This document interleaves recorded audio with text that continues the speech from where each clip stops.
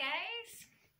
So, I just wanted to let you guys know that I did something I'm proud of a couple days ago.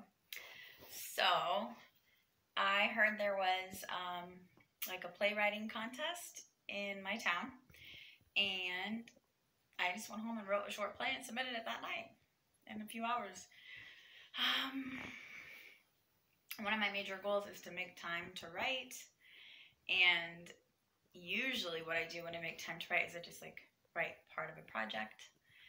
And so it feels really good to actually finish it and submit it. So, yay! Super excited about this. Boop. Um, so my question for you is, what is your goal? What have you done lately to work towards your goal? Um, write it in the comments below. And hey, subscribe to my YouTube channel, like my Facebook page. And that's all I got for now. Bye!